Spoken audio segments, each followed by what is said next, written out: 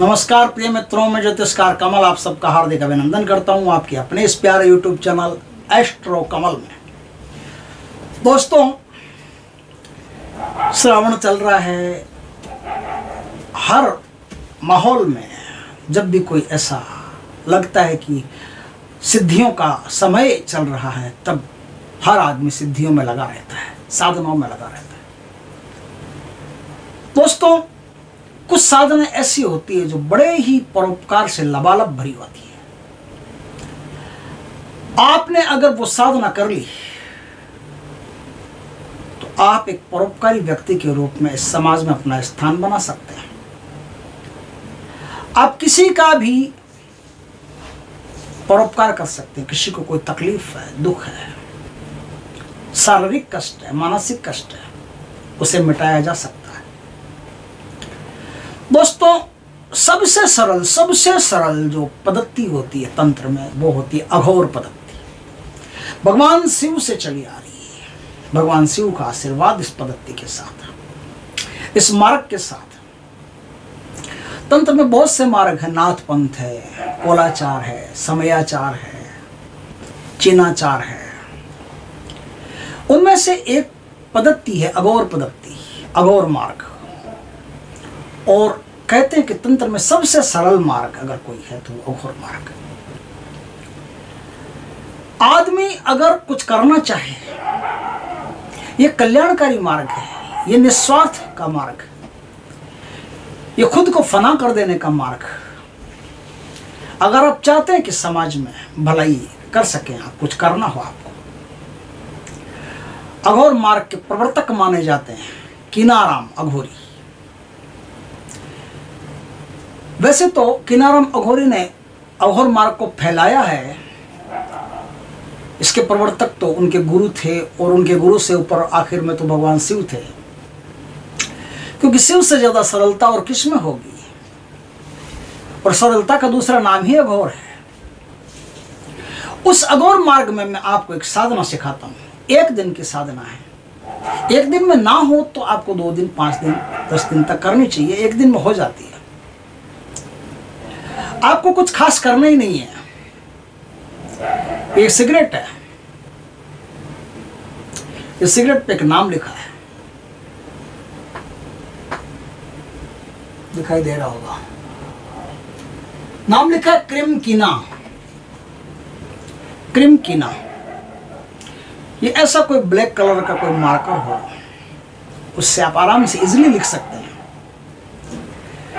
ऐसा नाम लिख करके रात 11 बजे से शमशान में, नग्न अवस्था में, दिगंबर अवस्था में बैठ करके और मुर्दे की खोपड़ी पर शराब में डुबोकर, थोड़ा सा थोड़ा सा, इतना सा भाग शराब में डुबोकर, देसी शराब में, और मुर्दे की खोपड़ी पर इस सिगरेट को,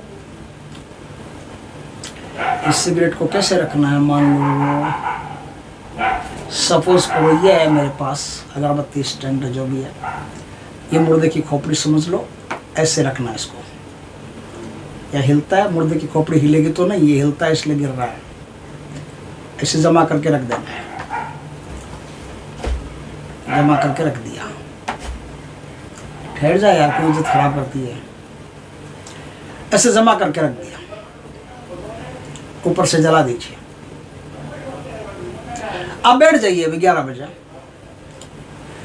लोबान की धूप कर लीजिए। देशी शराब का एक कुल्लड़ भर करके सामने रख दीजिए और अब आप वहाँ बैठ करके सांसों के साथ मंत्र का जाप कीजिए। अपने चारों ओर पहले सुरक्षा चक्र लगा लेना अच्छी तरह से। काली माँ का हो, भैरव भगवान का हो, कोई भी। रक्षा घेरा हो, उस रक्षा घेरा को अच्छी तरह से लगा लीजिए और ज़मीन पर ही आपको बैठना है।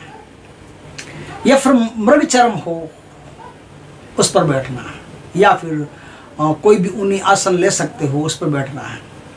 नहीं तो ज़मीन पे जो शमशान में ज़मीन पे जो चेता की राख होती है, उसको बिछा करके उस पर बैठ जाना है। स्नान करने के बाद में पूर्ण पवित्रता से साधना करनी है।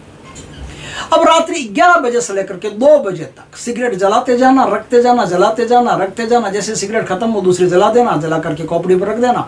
कॉपड़ी का मुँह आपकी तरफ़ होना चाहिए, आपका मुँह दक्षिण दिशा की तरफ़ होना चाहिए। करना कुछ नहीं है, सिर्फ़ यहाँ बैठ करके आपको जाप करना है। क्रिम कीना क्रिम कीना क्रिम कीना क्रिम कीना क्रिम कीना क्रिम कीना। इतना भयानक डर आएगा, कल्पना नहीं कर सकते। ऐसा लगेगा कि आग, आसमान से आग बरस रही है आपके ऊपर। ऐसा लग रहा है जैसे हज़ारों पशु पक्षी चित्कार कर रहे हैं ज़ोर ज़ोर से दहाड़ रहे हैं। ऐसा लग रहा है शेरों की कोई दहाड़े आपके कानों में आ रही है। ऐसी भयंकर आवाज़ें सुनाई देना, योगनिया पिसाचनिया चित्कार करेगी, आवाज़ लगाएगी, भयंकर डरना नहीं है, डरना नहीं है। जो डर गया, वो मर गया।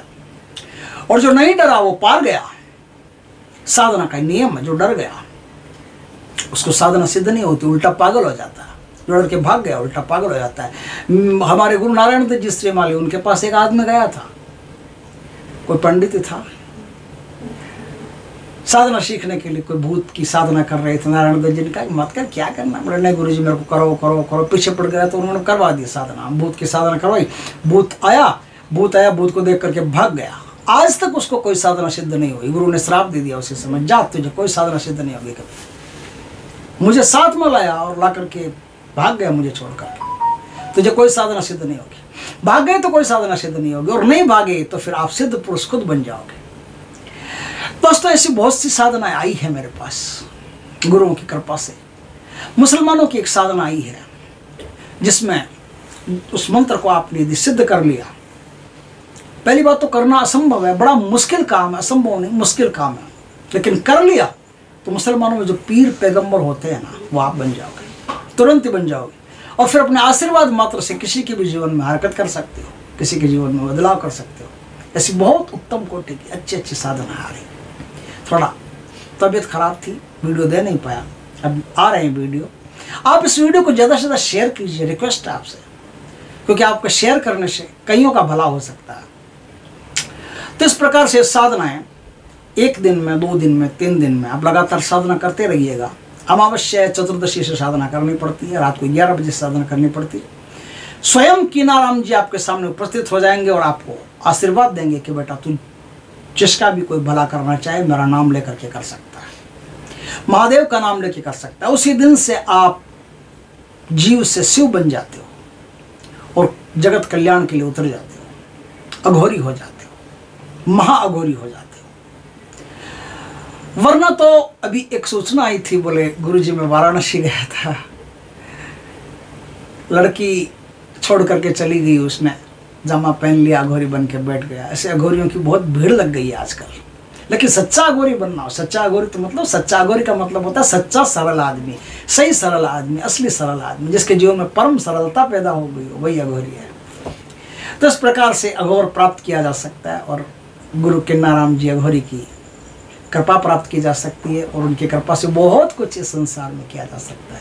दोस्तों, आप खुद का भी भला कर सकते हो और सबका भला कर सकते हो। और साधना अच्छी लगे, वीडियो अच्छा लगे तो लाइक करना कमेंट करना शेयर करना। पहली बार हमारे चैनल पर आए चैनल को सब्सक्राइब करना, पास में जो बेल आइकॉन का बटन है दबा देना ताकि हमारे ज्ञानवर्धक जानकारीपूर्ण वीडियो सबसे पहले आपके पास आ सके। जय श्री कृष्णा दोस्तों।